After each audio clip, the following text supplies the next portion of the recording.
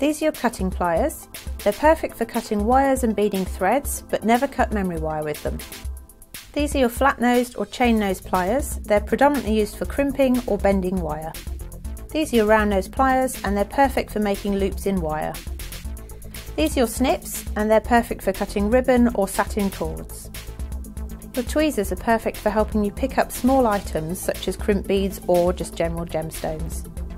This is your bead scoop. It's perfect for picking up leftover beads and helping you to filter them into your container. This is a bead reamer. It has a diamond dusted tip, which means it's perfect for helping enlarge holes in pearls.